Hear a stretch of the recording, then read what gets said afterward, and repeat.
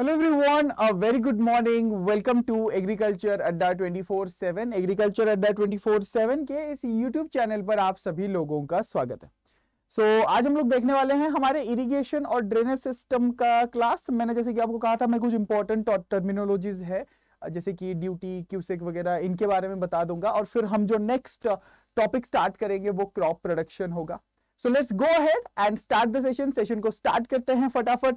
So guys uh, अब देखते हैं हम इरिगेशन सिस्टम में इरिगेशन सिस्टम में don't forget to subscribe to agriculture twenty four seven और साथ ही साथ हमारे टेलीग्राम और इंस्टाग्राम हैंडल पे हमारे साथ जुड़ना बिल्कुल ना भूलिएगा। Very good morning Anubhav Radhe Radhe.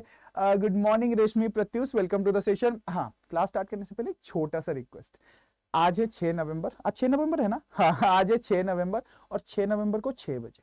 ठीक है ना? क्या है? 6 नवंबर को 6 बजे भाई आप लोगों को जुड़ना है हमारे साथ। एक बहुत ही खास सेशन है आप सभी लोगों के लिए। भाई आपने big billion days big Flipkart वो सब सुना होगा। हम लेके आ रहे हैं आपके लिए बिग सिलेक्शन डेज़ ठीक है? This will be something interesting for you ठीक है? Uh, क्या होगा अब यार? देखो मैंने अब मैं बाकियों की तरफ़ बोलूँगा नहीं यहाँ पे। ठीक है ना? ओके सो चलिए आपको जुड़ना है आज छह बजे छह आज छह तारीख को छह बजे। सो स्टेट यून to agriculture twenty four seven so आइए चलते हैं। सो so, पहला क्वेश्चन आपका है हरियाली योजना इज़ रिलेटेड टू डैश हरियाली योजना किस चीज़ से रिलेटेड है? Soil management water management crop management या air management very good morning Rashmi Okesh Prashant welcome to the session session को प्लीज़ शेयर कर दीजिएगा और साथ ही साथ यहाँ पर हमारे यूट्यूब uh, चैनल को ना सब्सक्राइब करना बिल्कुल ना भूलिएगा। थैंक यू सो मच चलिए। देखो, हरियाली योजना की अगर बात करो it is related to water management so basically इसका जो मेन एम्फोसिस है वो ये है कि हम जितना सही तरीके से हमारे क्रॉप्स को वाटर प्रोवाइड करेंगे, हमारे क्रॉप्स उतने ही अच्छे तरीके से ग्रो होंगे एंड यही इसका मेन रीजन है किस चीज़ का? हरियाली योजना को प्रमोट करने का। ठीक है ना?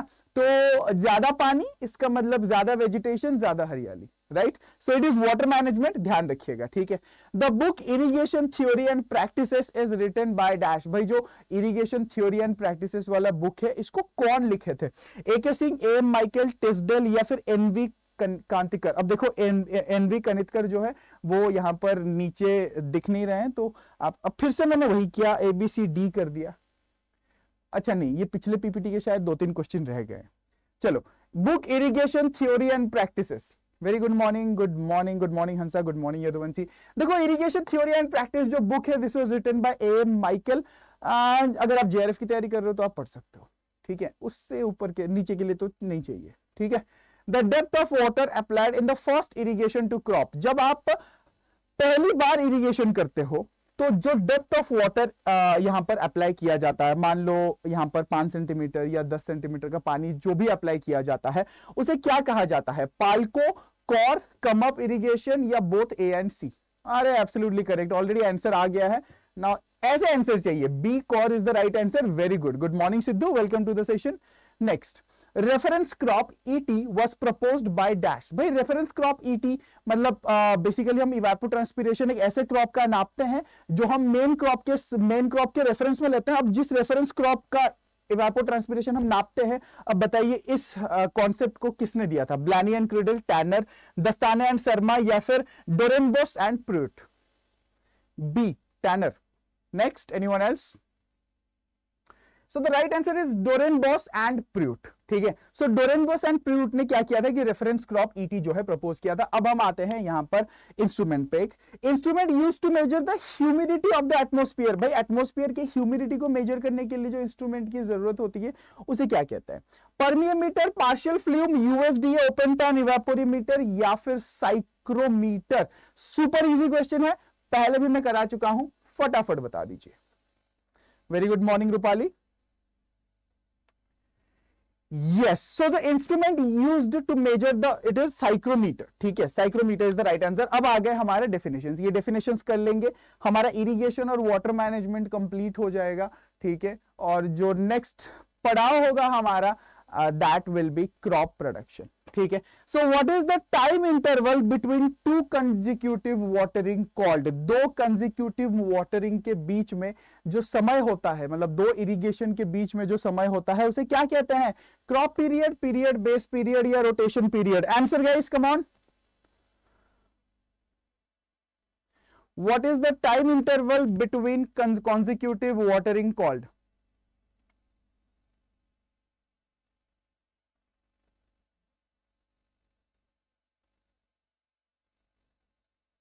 कोई ग्लिच होगा, हंसा? रिफ्रेश कर लीजिए, सही हो जाएगा।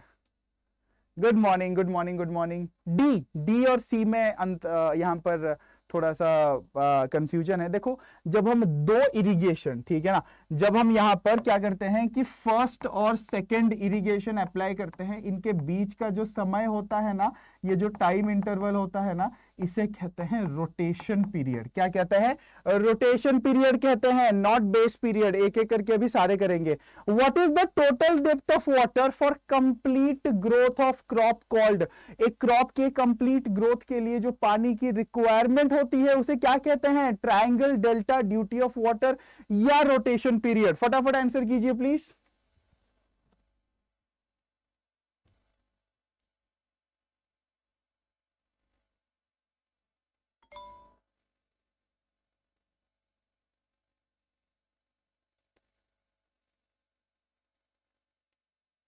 कम ऑन सो यहाँ पर अगर मैं बात करूँ so total depth of water for complete growth of crop is known as delta क्या कहते हैं हम? हम डेल्टा कहते हैं उसे। कोई ट्रायंगल व्रैंगल नहीं होता है। डेल्टा ड्यूटी दो कॉन्सेप्ट होते हैं। एक डेल्टा हो गया ड्यूटी बताऊँगा।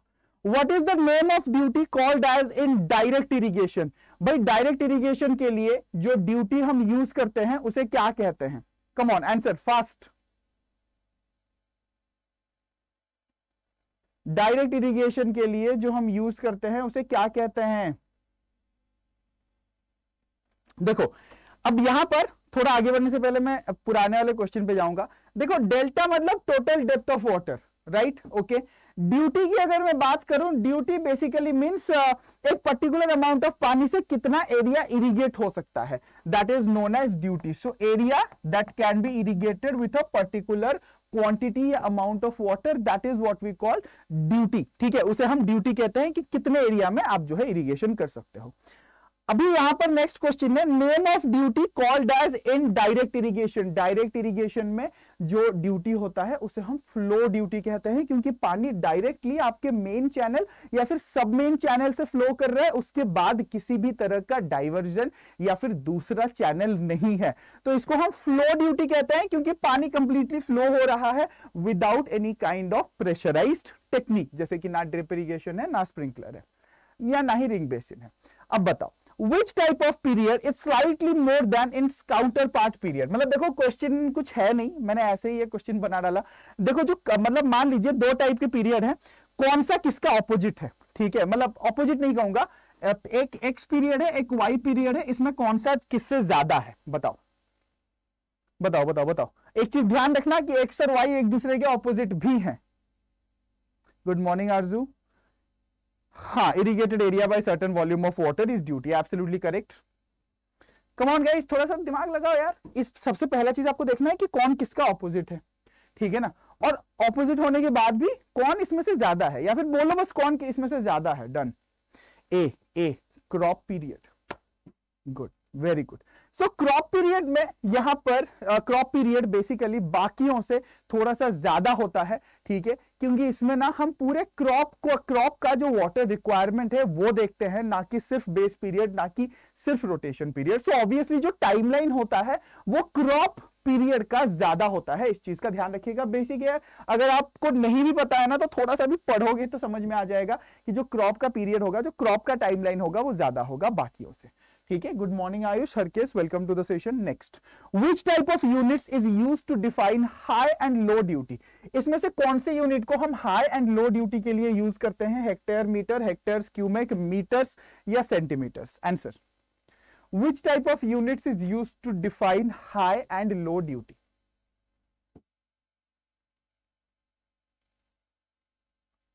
क्या बात है? आज दस मिनट में ही सारे क्वेश्चन खत्म कर दोगे?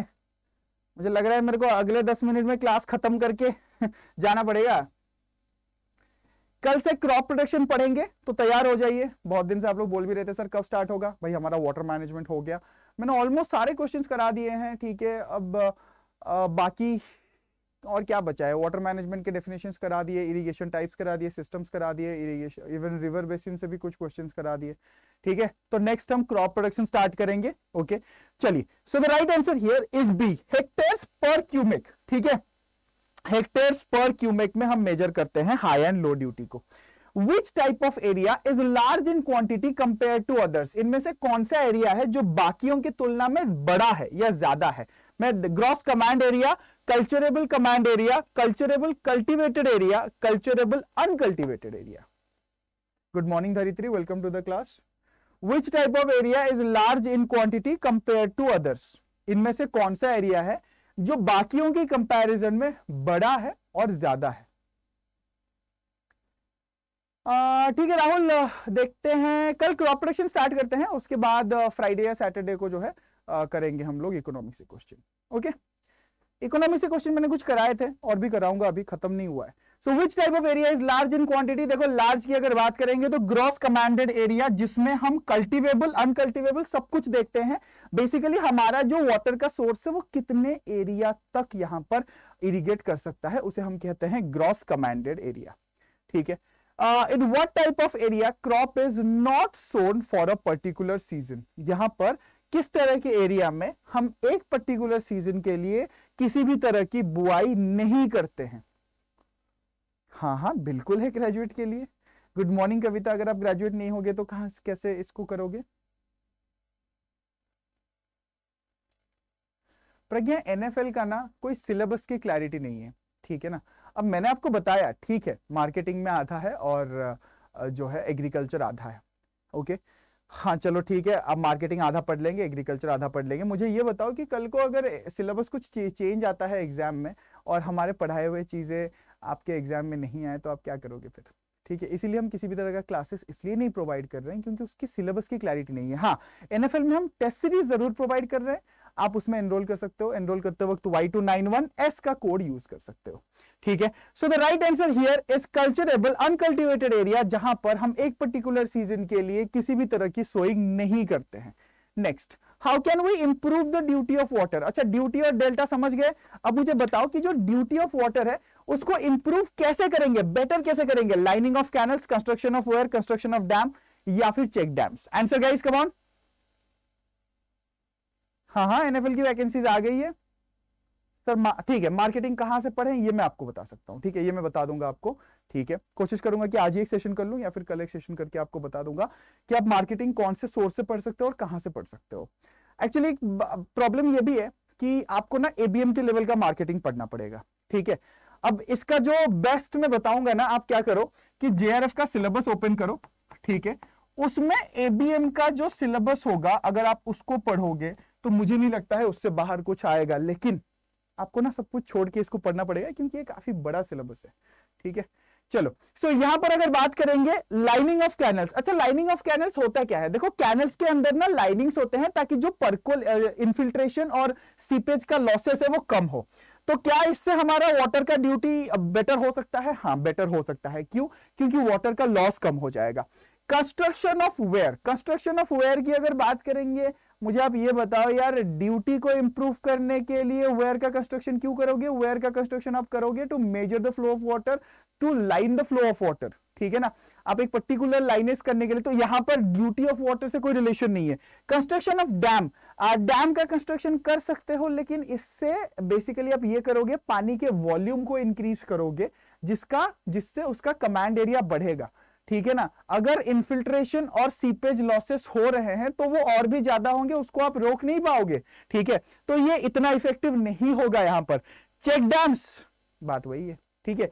Check dams will boost the volume of the water will boost the command cultural area लेकिन मैं क्या कह रहा हूँ कि एक पर्टिकुलर वॉल्यूम में, एक पर्टिकुलर वॉल्यूम में, ठीक है? एक पर्टिकुलर वॉल्यूम में पानी है, इस पानी के ड्यूटी को आप कैसे इंप्रूव करोगे? मतलब इस पानी, ये पानी कितने एरिया को इरिगेट कर सकता है, इसे कैसे इंप्रूव करोगे? And the right answer here will be lining of the canals canals को अगर लाइनिंग करोगे तो सीपेज लॉसेस नहीं होगा इन्फिल्ट्रेशन लॉसेस नहीं होगा.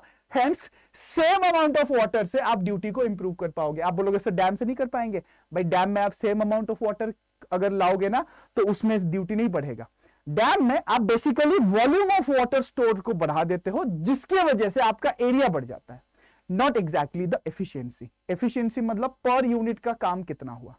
Right right? चलो ओके okay, अब ये मैं मैं आपको और एक इजी एग्जांपल दे देता हूँ। आप में से एक बच्चा है ठीक है जो दिन में ऑलमोस्ट सोलह घंटे पढ़ता है। लेकिन 16 घंटे के बीच में एक घंटा पबजी खेलता है एक घंटा खाता पीता है एक घंटा नहाने जाता है एक घंटा टीवी देखता है एक घंटा मम्मी से बात करता है एक घंटा फ़ोन पे बात करता है दोस्तों के साथ चाय पीने एक घंटे के लिए जाता है। तो उसके छह सात आठ घंटे तो ऐसे ही निकल गए। उसके जगह पे अगर एक दूसरा बच्चा है जो 10 घंटे के लिए एक्चुअली सिर्फ़ पढ़ाई कर रहा है देन ही और she is more efficient than the earlier child ठीक है ना? Okay okay? जो पहले वाला स्टूडेंट है, उससे ज़्यादा मेहनत कर रहा है। This is what we call efficiency ठीक है? डैम बनाने से आपकी एफिशिएंसी नहीं बढ़ेगी. क्लियर ओके चलो, आगे बढ़े. क्रॉप प्रोडक्शन कल से स्टार्ट होगा.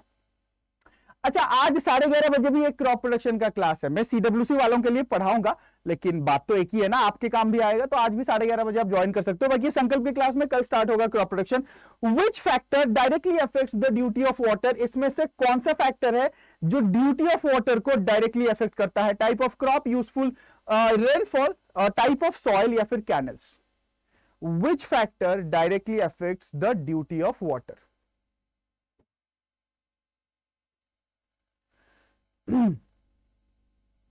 answer answer answer on देखो, यहाँ पर अगर मैं बात करूँ ड्यूटी ऑफ़ वाटर को, वही चीज़ है कि ड्यूटी ऑफ़ वाटर को हम कैसे एनहांस कर सकते हैं। टाइप ऑफ़ क्रॉप अच्छा टाइप ऑफ़ क्रॉप से आप ड्यूटी को कैसे एनहांस करोगे? Does not make sense, right? Duty of water means the area that can be irrigated with a particular amount, quantity or volume of water. Useful rainfall हाँ useful या effective rainfall से क्या होगा? कि आपके, आपका जो फ़ील्ड है ना, उसमें थोड़ा लॉसेस कम होगा लॉसेस कम होगा तो जो पानी है वो ज़्यादा फ्लो कर पाएगा। देखो, बहुत सिंपल सा कंडीशन है। मान लो ये फ़ील्ड है, ये पानी है, ये पेन ना, ये ये पेन जो है वो पानी है, ठीक है ना? जब ये पानी फ्लो होता है मतलब जब ये जब ये पेन आगे आगे जा रहा है तो पानी फ्लो हो रहा है। तो सैंडी सॉइल में ना, क्या होता है कि इन्फिल्ट्रेशन और पर्कुलेशन लॉसेस ज़्यादा होते हैं, जिसकी वजह से ये पेन नीचे गिर जाएगा, ऐसे, ठीक है? लेकिन अगर आप सेम चीज़ ब्लैक सॉइल में करोगे, जहाँ पर पोर्स कम होते हैं तो ये आगे आगे फ्लो करेगा। तो होता क्या है कि जब बारिश हो जाता है ऑलरेडी पर्कुलेशन और इन्फिल्ट्रेशन हो गया रहता है। ठीक है ना? ओके मैक्रोपोर्स थोड़े से ज़्यादा फिल हो जाते हैं, जिसके वजह से जो पानी आप अलग से दे रहे हो, वो इन्फिल्ट्रेशन कम होता है और आगे बढ़ते जाता है। सिंपल साइन से पोरोसिटी का पोर स्पेस का पोर स्पेस और पोरोसिटी अगर क्लियर है तो भाई इरिगेशन में कहा ज़्यादा फ्लो होगा, कहाँ कम फ्लो होगा? इजी हो जाएगा। ठीक है? Clear very good morning good morning good morning good morning हाँ ऑब्वियसली देखो टाइप ऑफ़ सॉइल अफेक्ट करेगा, पर मैं ये कह रहा हूँ कि कौन अच्छा ओके ओके मैंने इफ़ेक्ट लिख दिया ना सो हाँ अगर इफ़ेक्ट लिख दिया तो फिर यार ये दोनों होगा। ठीक है ना? ये एक्चुअली इफ़ेक्ट है। ठीक है? मतलब इफ़ेक्ट हमेशा पॉजिटिव सेंस में होता है। Effect can be generally positive होगा या नेगेटिव होगा। इफ़ेक्ट होगा तो ये नेगेटिव होगा। ठीक है? So type of soil useful rainfall दोनों ही हो जाएगा। ठीक है? मैंने ध्यान नहीं दिया।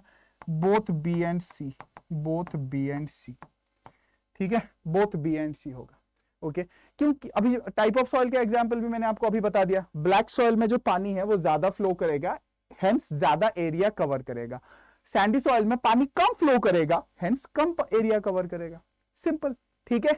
Clear clear useful rainfall and type of soil sir आप नहीं करोगे एनएफएल में अप्लाई यार, बूढ़े हो गए यार, समझा करो। ठीक है? चलो नेक्स्ट आगे बढ़ते हैं. At which point in the entire canal system the duty of water will be more ठीक है? भाई, पूरे कैनल सिस्टम में कौन से पॉइंट पे जो वाटर का ड्यूटी है, वो ज़्यादा है? Head of the watercourse head of the minor head of the distributary या हेड ऑफ़ द ब्रांच मैं अभी बस एक ही चीज़ कर सकता हूँ, ठीक है? किसी भी टाइम अगर मुझे ऐसा लगा ना कि यार यहाँ से, क्या बोलते हैं, अब तो यार बहुत पढ़ा लिया, अब तो मैं बहुत बहुत बहुत ज़्यादा पढ़ा लिया, तब मैं पीएचडी ज़रूर करने जा सकता हूँ। या एआरएस की पीएचडी करने के बाद एआरएस की तैयारी कर सकता हूँ। चलो answer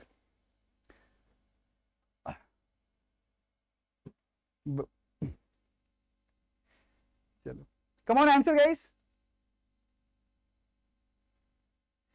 so at which point in the entire canal system the duty of water will be more देखो वाटर के ड्यूटी की अगर बात करेंगे मतलब अगेन हम बात कर रहे हैं एरिया तो यहाँ पर head of the water course मतलब आपका वाटर कोर्स जो आपके फ़ील्ड तक पहुँच रहा है। मतलब मान लो ये आपका मेन सोर्स है, यहाँ से एक सबमेन गया, ये उसके ट्रिब्यूटरीज गए, यहाँ पर जो कनेक्ट कर रहा है, यहाँ पर ये जो वाटर का हेड है ना, यहाँ पर, कोई सा भी वाटर का कोर्स ले लो, उसका हेड पे जो ड्यूटी है वो ज़्यादा होगा, हमेशा। क्योंकि वाटर ऊपर से जितने फास्ट या जितनी तेज़ी से निकलता है और फ्लो होता है ना नीचे वो सेम तेज़ी से फ्लो नहीं होता है क्योंकि उसकी वेलोसिटी ज़्यादा होती है। आप जस्ट इमेजिन कि अगर बाढ़ आ रहा है तो वो पा, उतना पानी ज़्यादा एरिया कवर कर लेता है लेकिन अगर एक नॉर्मल पानी है तो वो उतना एरिया नहीं कवर कर पाएगा। क्यों? क्योंकि वो वेलोसिटी है। सिंपल सी बात है। आ, एक यहाँ पर एक बिल्डिंग है ठीक है ना? आप बिल्डिंग से ऐसे चल, चलते चलते गए और यहाँ पे कूद गए तो क्या होगा? भाई अभी ये देखो, एक गलत मतलब मत निकालना, ठीक है? सो बिल्डिंग में चलते चलते गए और कूद गए।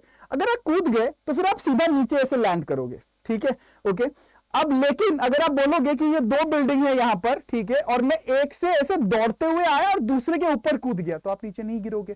तो वेलोसिटी या स्पीड जब ज़्यादा होगा तो ऑब्वियसली ज़्यादा एरिया यहाँ पर कवर होगा। इस चीज़ का ध्यान रखिएगा, ठीक है? Clear next so this is it guys इसी के साथ आपका वाटर मैनेजमेंट होता है कंप्लीट कल स्टार्ट करेंगे क्रॉप प्रोडक्शन एंड पहला क्रॉप ऑब्वियसली पैडी होगा या फिर बेसिक्स ऑफ़ क्रॉप प्रोडक्शन से थोड़ा स्टार्ट करेंगे। बेसिक्स क्या यार? क्रॉप से ही स्टार्ट करेंगे डायरेक्टली ठीक है? एएफओ का टारगेट बैच तो था ही लेकिन आ, कुछ बच्चों के जस्ट मिनट तो यहाँ पर कुछ बच्चों की रिक्वायरमेंट के लिए हमें क्रैश कोर्स लेके आए हैं। आप Adda twenty four seven dot com पे जाइएगा। ऑल कोर्सेस एग्रीकल्चर एग्रीकल्चर के अंदर आईबीपीएस एसओ एफओ यहाँ पर आप देखिएगा एक क्रैश कोर्स है। And this crash course is only for mains ये प्री प्लस मेन्स का क्रैश कोर्स नहीं है। ये सिर्फ़ और सिर्फ़ मेन्स का क्रैश कोर्स है।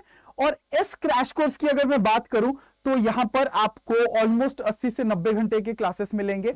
देखिए, ये कोर्स आप तभी ज्वाइन कीजिएगा जब आपके बेसिक्स क्लियर हो। ठीक है ना? क्योंकि जब मैं या फिर कोई भी टीचर इसमें पढ़ाएँगे, आप ये मत सोचिएगा कि आपके बेसिक्स को धीरे धीरे क्लियर करके पढ़ाया जाएगा। क्रैश कोर्स है भाई, आप ऑलरेडी भाग रहे हो, ठीक है ना? आपका जो भागता हुआ स्पीड है ना, उसको हम थोड़ा सा पुश देंगे, ठीक है? तो अगर आप भाग नहीं रहे होगे, कोई खड़े हुए इंसान को मैं अगर धकेल दूँगा तो वो गिर जाएगा, वो ज़्यादा तेज नहीं भागेगा, लेकिन एक भागते हुए इंसान को अगर थोड़ा सा धकेलेंगे ना तो वो थोड़ा सा तेज भागेगा, ठीक है ना? तो सिंपली क्रैश कोर्स एक ऐसा कोर्स है, जहाँ पर आपका जो पढ़ाई है ना, वो थोड़ा सा और पेस पकड़ेगा। लेकिन अगर बेसिक्स क्लियर नहीं है तो ये बैच आपके लिए नहीं है। अगर आप एनरोल करना चाहते हैं तो ये बैच 24 नवंबर से स्टार्ट होगा। बाय नाउ पे जाइए। कूपन कोड यूज़ कर सकते हो आप। Y291A अप्लाई कर दीजिए यहाँ पर। 1724 का ये बैच है। इसमें आपको टेस्ट सीरीज़ और ई बुक दोनों मिलेगा। प्लस आपको क्लासेस मिलेंगे। ठीक है? आ, साथ ही साथ अगर आप ऐसे स्टूडेंट हो जिसको यहाँ पर ऑब्वियसली थोड़ा सा और डेप्थ में पढ़ना है तो आप आईबीपीएस योद्धा 2.0 के मेंस या फिर प्री प्लस मेंस बैच में एनरोल कर सकते हो। अगर सिर्फ़ मेंस के बैच में एनरोल करना है तो बाय नाउ पे जाइए और यहाँ पर सेम कोड आप यूज़ कर सकते हो Y291A ठीक है? अप्लाई कर दीजिए। 2184 कंप्लीट टारगेट बैच है। ये बैच खत्म होगा जनवरी के स्टार्टिंग में। वो भी ऑलमोस्ट जनवरी 15-20 तारीख तक क्रैश कोर्स खत्म होगा। क्रैश कोर्स हम ऑलमोस्ट 20-25 तारीख तक पढ़ाएँगे क्रैश कोर्स में। मतलब मान ली 15 से 25 तक ठीक है ताकि लास्ट मोमेंट तक आपको हम रिविजन कराते रहें ठीक है। लेकिन जो टारगेट बैच है वो यहाँ पर ऑब्वियसली आपके मोस्ट ऑफ़ द चीज़ें कंप्लीट हो चुकी हैं। क्रॉप प्रोडक्शन है इकोनॉमिक्स है इंजीनियरिंग uh, मेरे ख्याल से चल रहा है फॉरेस्ट्री फिशरीज है तो वो सब कंप्लीट होगा ठीक है। क्लियर चलिए so this is it okay sir आप बीच बीच में स्माइल कर दिया करो मोटिवेशन मिलता है। हैं, ऐसा है क्या? चलो भाई, अब तक सुधांशु सर का स्माइल पॉपुलर था। चलो, मेरे स्माइल से भी अगर थोड़ा मोटिवेशन मिलता है तो कर देते हैं। चलो जस्ट किडिंग भाई, अपना मोटिवेशन ना खुद के अंदर से लाओ। हाँ ऑब्वियसली भाई एक्सटेंशन में हम टर्मिनोलॉजीज पढ़ते हैं। Extrinsic motivation intrinsic motivation extrinsic motivation वो मोटिवेशन है जो बाहर से आता है। ठीक है ना? ओके जैसे हमारे मनीष सर है। ठीक है, अब जिस दिन मुझे कोई काम होता है ना, मैं बोलता हूँ, मनीष सर, आज क्लास नहीं ले पाऊँगा।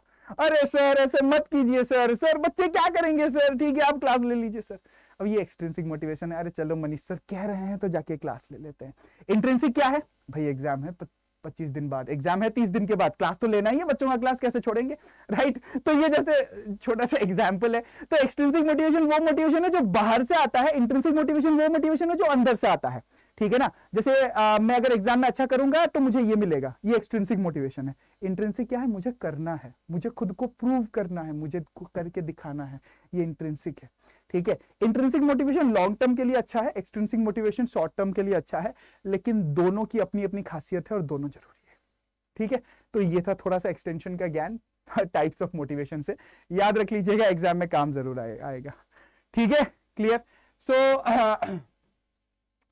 this is it guys मिलते हैं फिर हम लोग नेक्स्ट क्लास में। आज साढ़े ग्यारह बजे थोड़ा क्रॉप प्रोडक्शन में सीडब्ल्यूसी के क्लास में पढ़ाऊँगा तो आप लोग वहाँ पर भी आ सकते हो और कल से हम स्टार्ट करेंगे crop production till then take care bye stay safe don't forget to subscribe to agriculture twenty four seven और साथ ही साथ आज छह बजे छह नवंबर छह बजे याद है ना सबको? छह नवंबर छह बजे हमारे साथ जुड़ना मत भूलिएगा एग्रीकल्चर ट्वेंटी फोर सेवन के यूट्यूब चैनल पर। Thank you so much crop production class की टाइमिंग सेम ही होगा। टेन थर्टी होगा सुबह।